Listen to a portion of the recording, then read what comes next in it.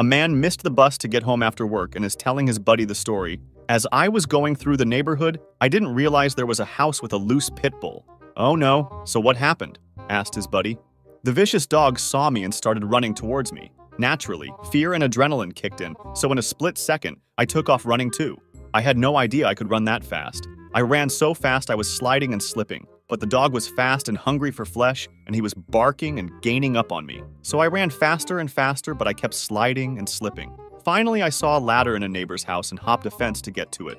I went up as fast as I could, but I kept slipping. It didn't matter because I was safe, and a few minutes later, the dog went home. His friend goes, God damn, bro, that is scary. If that would have happened to me, I would have shit my pants at the very least. The man goes, Well, how do you think I kept sliding and slipping?